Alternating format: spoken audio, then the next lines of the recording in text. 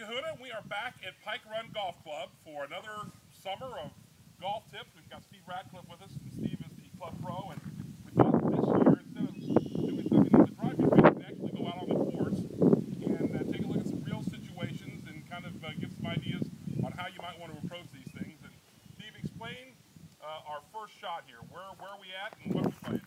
Uh, this is number 14. It's a par 3. Uh, it's one of our signature holes. You got water in front of the green, water to the right, out of bounds left.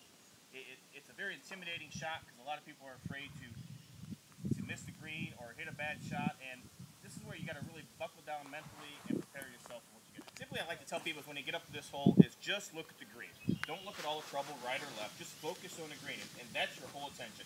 Not necessarily the pin because you're just trying to hit it on the green to avoid the trouble. But don't focus on the trouble. Last thing to do is stand here and think about, oh, I don't want to hit it in the water. I don't want to hit it in the water, or I don't want to hit it left.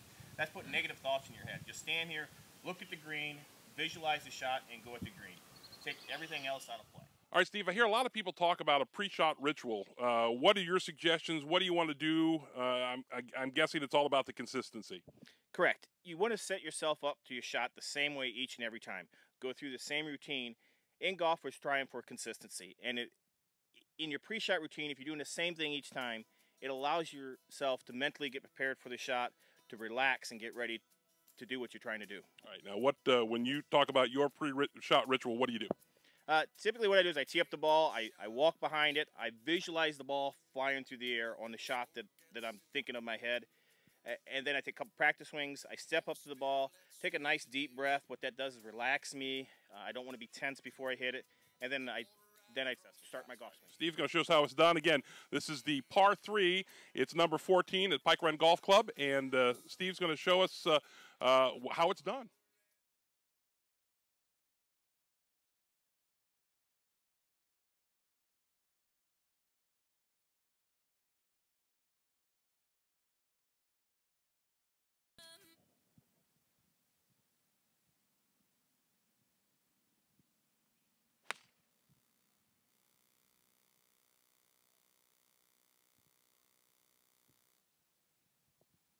Wow, that's what you want to do.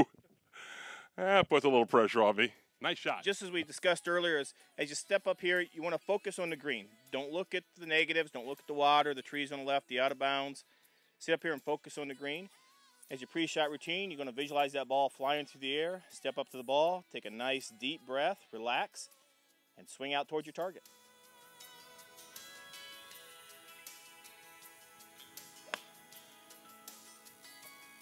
Out pretty good. Oh, great shot. A little spin on that too. I meant that.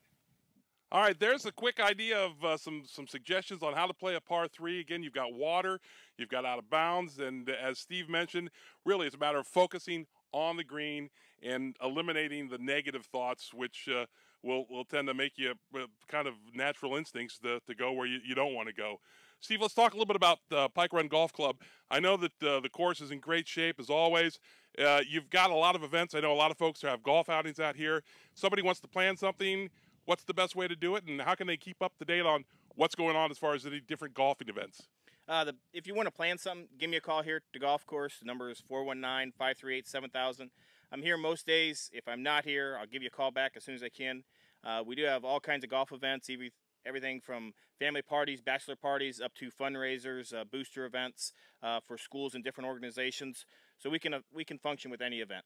All right. Again, uh, give Steve a call and let the folks at Pike Run treat you right, and of course online as well. Absolutely. Uh, you can go to our website, which is pikerungolf.com. We have a calendar of events there. Uh, just click, click on the calendar, and you can see what events are coming up if you want to play in it, or schedule one uh, for yourself if the day is open. All right. Once again, my thanks to Steve and everybody here at Pike Run Golf Club. It's our Pike Run Golf Club tip of the day.